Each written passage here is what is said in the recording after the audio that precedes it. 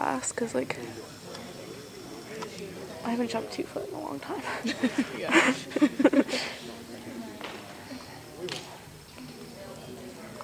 And he's not exactly green. yeah. That's a little longer rein. Let him relax.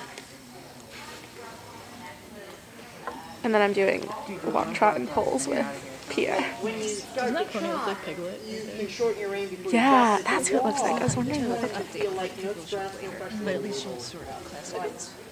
And then I added her in class five. How are the ponies doing on the trailer? I don't know, Alan hasn't come in to tell us that there's a problem, so I guess they're good. Yeah. But, you know,